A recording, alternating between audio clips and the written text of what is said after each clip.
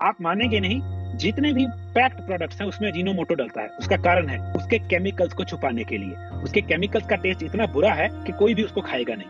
जब आपकी बॉडी में फाइटो कम हो जाते हैं तो क्या क्या दिक्कत आती है? हार्ट प्रॉब्लम्स आपकी आर्टरीज के इनसाइड की डैमेज होने लग जाती है। तीसरी चीज़ किडनी डैमेज तो चौथी चीज़ आई डैमेज पांचवी चीज़ ब्रेन डैमेज छठी चीज़ नर्वस सिस्टम की डैमेज तो ये सिर्फ़ कुछ छह मेन चीज़ें हैं, जिनको फाइटो चाहिए ही चाहिए।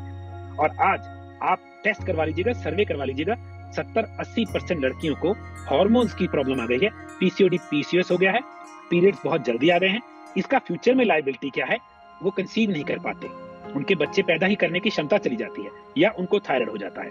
लड़कों में यही चीज़, उनका स्पर्म काउंट गिर रही है। तो जब वो शादी के लायक होते हैं वो बच्चा पैदा करने की क्षमता ही नहीं रख पाते। नमस्कार दोस्तों, हम में से बहुत से लोग रोज़ाना जंक फ़ूड खाते हैं, जिसे फास्ट फ़ूड भी कहते हैं, और हैरानी की बात यह है कि अब तो बच्चे भी अपने इंटेक में बहुत सारा जंक फ़ूड लेते हैं, जिसमें chips chocolate bread pizza burger biscuit ऐसे बहुत सी चीज़ें जिन्हें जंक फ़ूड की कैटेगरी में रखा गया है। ये जंक फ़ूड खाने से हमारी सेहत में क्या नुकसान होता है, इसकी जानकारी देंगे रविंद्र सेन जी। जैसा आप जानते हैं, Ravindra Sen ji self made health coach हैं और सेहत के बारे में गहरी नॉलेज रखते हैं। ये आज हमें बताएँगे कि जो ज़्यादातर बीमारियाँ बढ़ रही हैं, उसमें जंक फ़ूड का क्या रोल है। तो चलिए शुरू करते हैं। टेक्निकल फ़ार्मिंग चैनल को सब्सक्राइब करें और बेल आइकन भी दबाएँ ताकि आगे आने वाले वीडियो की नोटिफिकेशन आपको मिलती रहे। रविंदर जी नमस्कार। नमस्कार सर। रविंदर जी आजकल हॉस्पिटल्स की संख्या बढ़ रही है और उससे भी ज़्यादा उसमें मरीजों की संख्या बढ़ रही है। क्या इसका सीधा रिलेशन कोई जंक फ़ूड से है? जी हंड्रेड परसेंट है से कैसे है जंक फ़ूड से? खाते हैं जब क्या करता है जंक फ़ूड और जंक फ़ूड में क्या क्या शामिल है? जरा बताइए दर्शकों को। जो आपने नाम लिए चीज़ों के वो सारी जंक फ़ूड की कैटेगरी में आते हैं। उसमें वो भी चीज़ें आती है जो पैकेट में मिलती हैं, जैसे चिप्स, भुजिया, नमकीन, आपने बोल दिया कुरकुरे, पैकेट तो ऐसी चीज़ें, वो जंक फ़ूड की कैटेगरी में आती हैं। सबसे पहली चीज़ लोगों को समझनी होगी, जंक फ़ूड की परिभाषा, डेफिनेशन क्या है? आप गूगल पे जाके लिखिए, जंक फ़ूड डेफिनेशन, उसमें लिखेगा, no nutrition food, very low nutrition food क्या मतलब है इसका? हर कुदरती पदार्थ में कुछ ऐसी चीज़ें हैं जो हमारे शरीर को विटामिन और मिनरल्स, जिनको न्यूट्रिशन बोलते हैं, देके जाते हैं।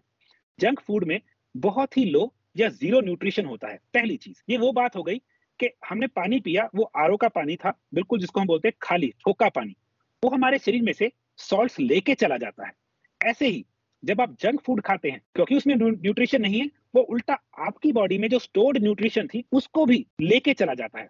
तो उसका सीधा इफ़ेक्ट क्या होता है? आपकी बॉडी में, जैसे हम बोलेंगे, कुदरती तत्व जो आपको हेल्थी बनाने में मदद करते हैं, वो कम हो जाएँगे।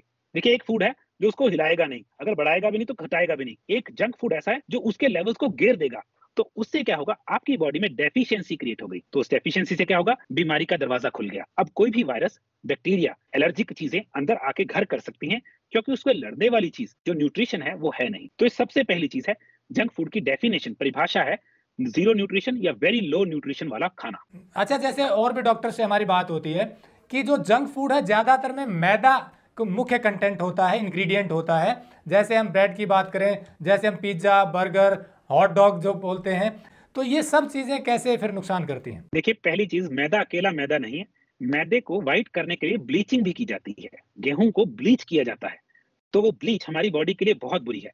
वो ब्लीच हमारी बॉडी में से वाइटामिन बी जो हमारे नर्वस सिस्टम का मेन वाइटामिन है उसको खराब करती है।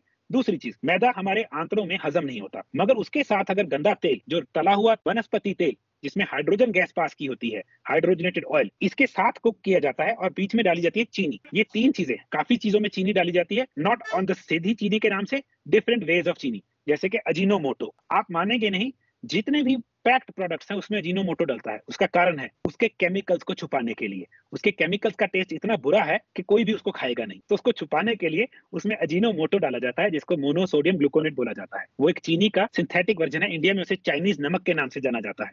वो इतना ज़्यादा शरीर के लिए खराब प्रोडक्ट है, वो हमारे बॉडी में से पहली चीज़ ब्लड शुगर को दो तीन गुना बढ़ा देता है। दूसरी चीज़, वो हमारे ब्लड प्रेशर को शूट कर देता है।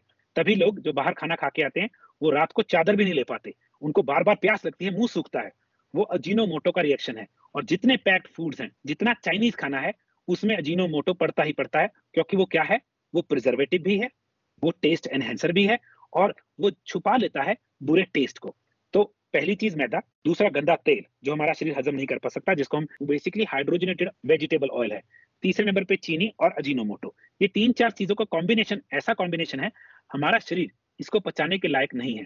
तो उससे साइड इफ़ेक्ट होता है, आंतरों में वो फंस जाता है और आंतरों में बरीक बरीक छेद हो जाते हैं। उससे हमें जिसे लीकी गट बोला जाता है। कई लोगों को इरिटेबल बाउल सिंड्रोम हो जाता है, कईयों को कॉन्स्टिपेशन परमानेंट तौर पर हो जाती है।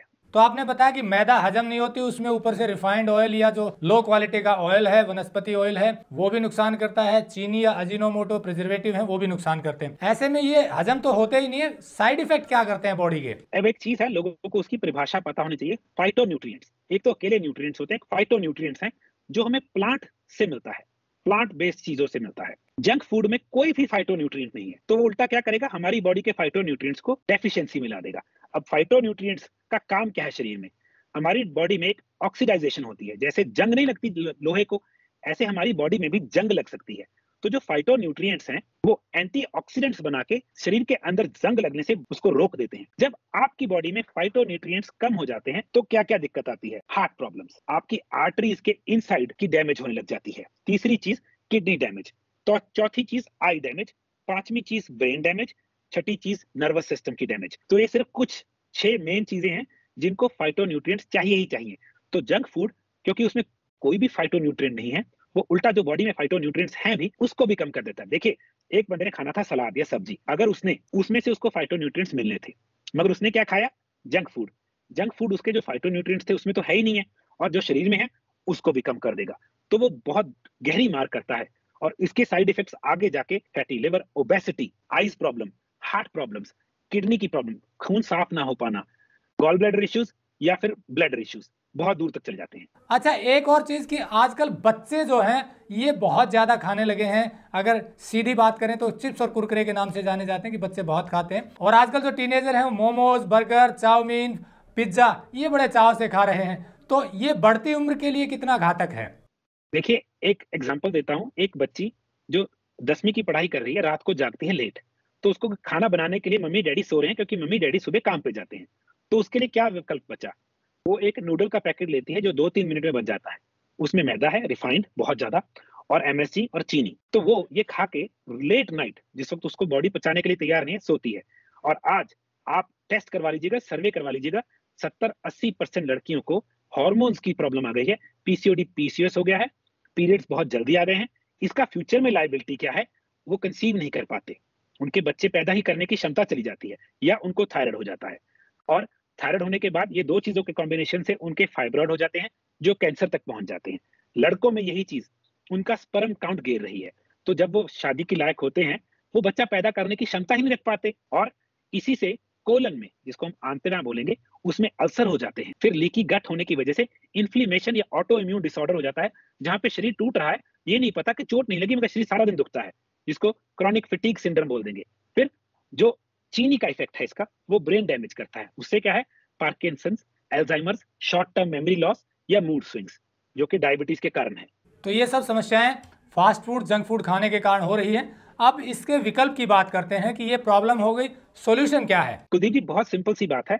बच्चा एक स्लेट है जो माँ बाप लिखते हैं, बच्चा वो फॉलो करता है। मैं कभी भी बच्चे से शुरू नहीं करूँगा, मैं माँ बाप से शुरू करूँगा। अगर माँ बाप खुद गलत खाना खा रहे हैं, बच्चे ने वहीं से ही सीखा है, उसके टेस्ट बर्ड्स वहाँ से ही बने हैं। तो सबसे पहले मैं माँ बाप को सलाद घर में दिन में दो बार खाने को बोलूँगा ही बोलूँगा। सलाद में सारी न्यूट्रिशन और फाइटो न्यूट्रिएंट्स दोनों हैं। ये दो चीज़ें, अगर वो खुद खा रहे हैं, बच्चा देखेगा, उसके सामने अच्छा एग्ज़ाम्पल सेट करना है। घर में हर रोज सलाद आए टेबल पे, खाने से पहले सलाद खाना ही खाना है। उसके ऊपर एक अच्छा सा तेल डालना है। सलाद में एक विटामिन होता है जिसको क्रेटेनॉइड्स बोलते हैं। वो सिर्फ़ तेल में मिक्स होता है। अगर आप कभी भी देखेंगे अंग्रेज़ लोग सलाद के ऊपर ऑलिव ऑयल डालते थे। हमारे इंडिया में ऑलिव ऑयल अच्छी क्वालिटी का नहीं मिलता तो मैं आलमंड ऑयल या कोकोनट ऑयल यूज़ करता हूँ। तो पहली चीज़ जो इसके लिए मदद करेगी दिन में दो बार सलाद और उसके ऊपर अच्छी क्वालिटी का तेल खाना ही खाना है कम से कम डेढ़ सौ ग्राम। अच्छा आटे की बात करें जैसे हमने बात की कि ज़्यादातर में मैदा यूज़ होता है। ये आटा या चावल मेन इंग्रेडिएंट है तो वो उसमें क्या ध्यान रखें? क्योंकि आटा अगर खाना है तो फिर क्या विकल्प? देखिए ऐसा है सीरीज़ ऑफ़ थिंग्स है। एक बहुत गलत है कम गलत है एक बिल्कुल गलत नहीं है। आटा बिल्कुल गलत में नहीं आता बीच में आता है। क्योंकि आटे में क्या हो गया है?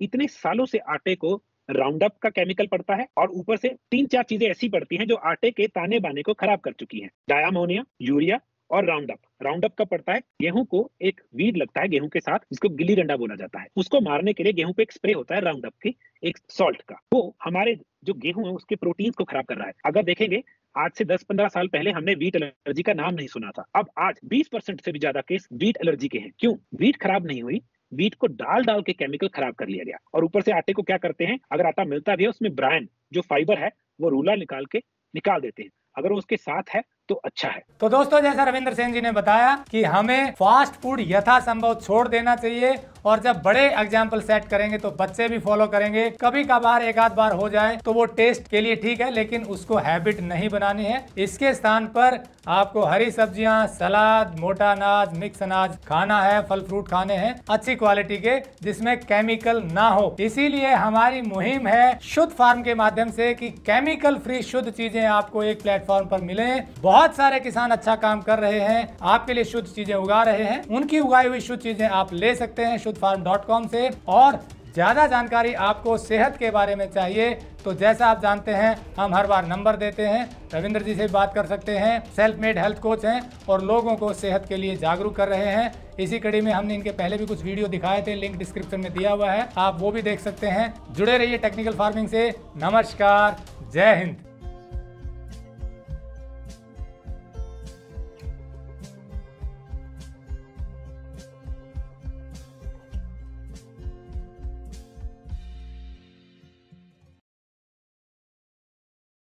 अगर आपको यह वीडियो पसंद आया है तो ज़्यादा से ज़्यादा लाइक और शेयर ज़रूर करें। साथ ही, चैनल को सब्सक्राइब करना ना भूलें।